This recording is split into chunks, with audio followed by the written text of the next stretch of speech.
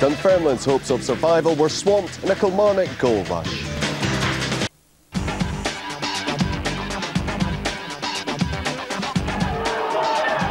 Jerome Vareille returned for Kilmarnock after a four-month absence and the Frenchman showed early on he was determined to give the Dunfermline defence a torrid afternoon.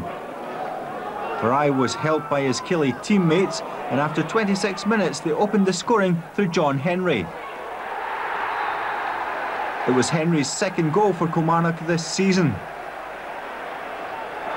Alan Mahood was the man with the cutback and Henry got in front of Greg Shields to shoot past Butler. Dunfermline, though, could have gone in level at the interval. Jim Lauchlan caused problems for his own defence when he was short with this headed pass back. But when Scott Thompson's cross looked goal-bound, Gus MacPherson made the important goal-line clearance.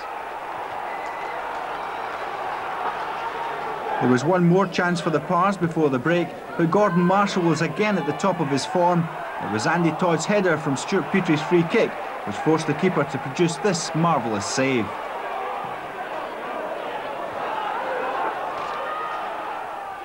The second half, though, was all about Kilmarnock, and in the 55th minute, they made it 2-0.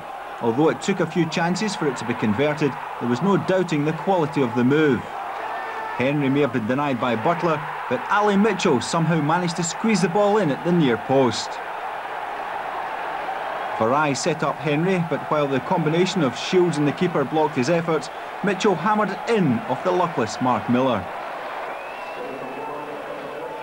Two minutes later, there was even more misery for Miller and Dunfermline as Ian Durrant made him pay for slack play out of defence with a fine solo effort.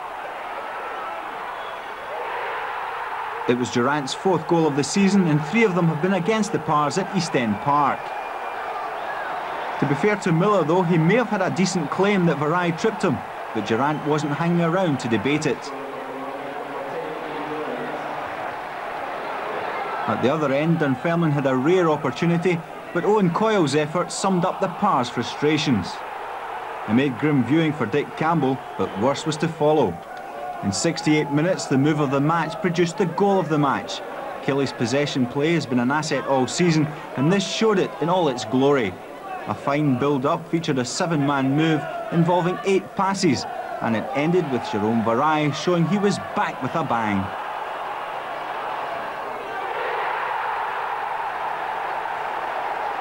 Ian Durrant, ever the linkman, played a neat 1-2 with Ali Mitchell, and Vareille accepted the pass to finish in style.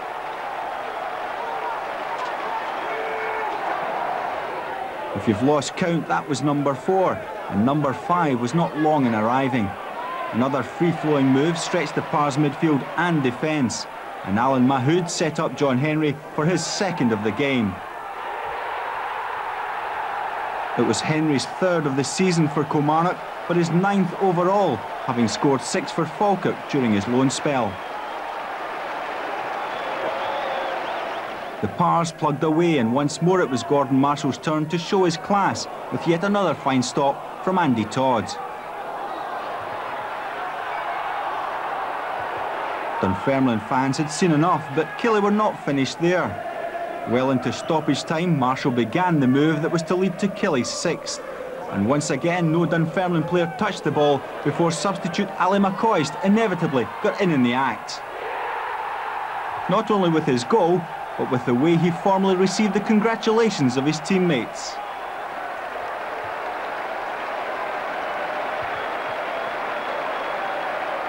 It wrapped up a convincing win for the visitors and strengthened their claim for a European place. It was not easy to keep this place, but we have to carry on because St Johnstone behind is a very good team, and uh, I think we done we're playing a very very good football just now, and uh, I think we we're going to play to Europe next year. You must have been pleased with the return of Jerome Vareille.